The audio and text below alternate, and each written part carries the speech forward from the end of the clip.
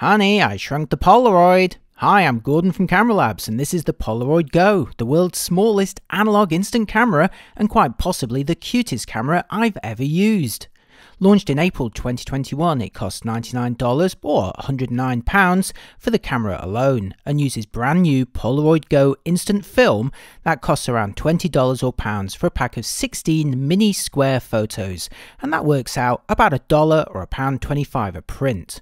The camera itself is essentially a shrunken version of the Polaroid Now, seen here on the right in its latest Keith Haring edition at Zoing Image in Brighton. Check it out if you're in town.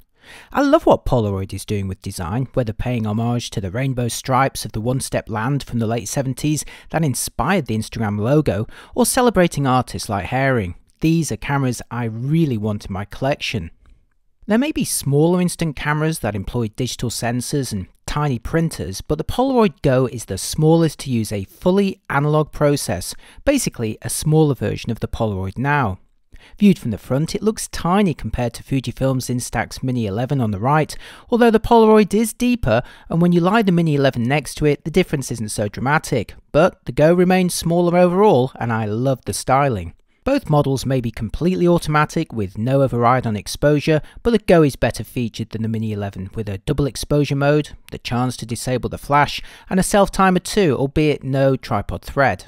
There's even a digital display on the back that tells you how many shots are remaining. Here I've loaded a new cartridge so the camera's reporting 8 photos, while the dot indicates that the flash will fire. Pushing the flash button on top toggles the flash off and on, although it will reset to on after each photo. Double clicking the button activates the double exposure mode, while pushing and holding sets the self timer. Now Fujifilm does have these options on some Instax models, but it reserves it for the more expensive models. In another step up from the cheapest Instax cameras that are generally powered with AA batteries, Polaroid has equipped the Go with a built-in rechargeable lithium-ion battery that's good for around 15 packs of film per charge and is charged over a micro USB port on the side. Like other instant cameras, you can pose with an optical viewfinder at the back, and while there's no markings for parallax, I found it reasonably accurate. Turn the camera around for selfies, and you'll see Polaroid has cunningly used a semi-reflective coating on the viewfinder, allowing it to double up as a surprisingly large and effective selfie mirror. Meanwhile, in the middle is the lens, equivalent to 34mm for semi-wide shots, with the camera automatically choosing from two apertures and a range of shutter speeds to adjust the exposure. No, unlike the Polaroid now, the lens is not autofocus and there's no separate macro mode either, so you'll have to trust the depth of field is sufficient and not get too close. Polaroid continues the cute theme by supplying the Go with a simple and colourful quick start guide and a gorgeous set of stickers which your family, if it's anything like mine, will fight over. Okay, now for the film which comes in cartridges containing 8 prints and they're typically sold in twin packs. Like other modern instant systems, the paper contains the chemicals that are needed to develop the picture, so everything you need is in there. Due to the size of the camera, the cartridges are loaded from the underside through a simple door that's reminiscent of Instax cameras. The first thing to emerge from the camera after loading a new film is the safety sheet that can be disposed of. Once you're good to go, a firm push of the bright red shutter release button fires the camera with the paper emerging immediately afterwards, hidden behind a retractable blind to protect it from light. You should now wait for at least 5 seconds before flicking the blind away back into the camera. At this point, the print should be placed face down or in a dark place for development to complete, which takes around 10 to 15 minutes. I generally place them inside the empty film box in a bag to shield them from light or rough handling that can damage the development. During this time, they're not as quick or robust as the Instax process. Once developed, you'll see the print share a similar muted style to vintage Polaroids, softer and less contrasty than Fujifilm's Instax process, but attractive in a different way. With the paper measuring 2.1 inches wide, they're the smallest of the current instant formats, almost one quarter the size of I-type Polaroids, and roughly the same width as a Fujifilm Instax mini print, seen here on the right, but shorter with a square picture shape. Here's a bunch of shots I took around Brighton with the Polaroid Go, starting with some outdoor landscapes on a sunny day.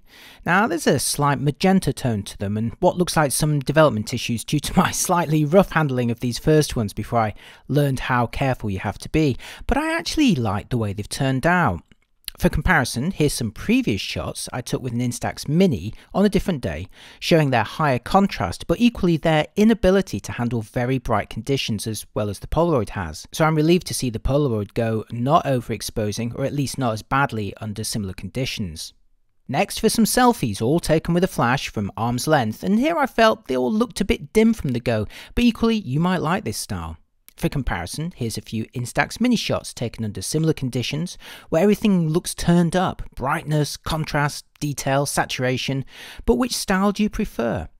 Now, while there's no dedicated macro mode on the Polaroid Go, you can still get reasonably close to your subjects. The coffee mug and guitars here were taken with the flash, and the fruit and the lamps without. And as before, there's a couple of Instax minis for comparison. Finally, here's some more outdoor shots with the Polaroid Go, where I've tried hard to find some really bright and vibrant colours, and I think these have become my favourite pictures that I took with the camera. Sure, they remain more muted than the Instax process, but there's a very different style and quality to them that remains very appealing. And that, after all, is the joy of film and instant processes, that you're getting a result that can look dramatically different to modern cameras and even digital filters. While the Polaroid Go camera may cost roughly the same as a full-size Polaroid now, there's simply no denying the charm of this little device. And while the prints are obviously downsized, they also work out at roughly half the price of full-size I-type prints. Now, Instax Mini is cheaper still, with cameras starting at around two thirds the price of the Polaroid Go and film costing around 70 cents or pence a shot. Instax Mini prints are also taller, as well as being quicker and more robust at the development stage. But the Polaroid Go camera is better featured than a Mini 9 or 11, and once you match its features in the Instax range, the body price does become similar. So while the Polaroid film does remain more expensive, I feel the choice really boils down to which camera and process you prefer. A closer rival in price and print shape is Fujifilm's larger Instax Square format, with the SQ1 camera here costing roughly the same as the Go, and the prints working out at a similar price too, sometimes even a bit cheaper for the Instax Square when bought in bulk. Now, I personally really like the Instax Square format, but again, it's a case of comparing the style of the cameras and the style of the process itself. In the end, it's a personal choice, but I can tell you that everyone who saw the Go just loved the look of it, and the cute factor is simply off the charts. I loved looking at it as much as I enjoyed using it, and I'll definitely add one to my collection. Polaroid is a small operation, but I think they're doing a fantastic job.